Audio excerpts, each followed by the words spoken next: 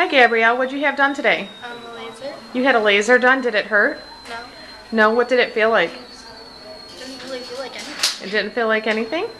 Can I see what it looks like inside? So where you did not have a tooth, you now have a tooth showing and we can get a bracket on that. That is so awesome. So now you'll have all your brackets on. Are you excited? Yeah. All right. Thank you for letting us see that. Have a good holiday.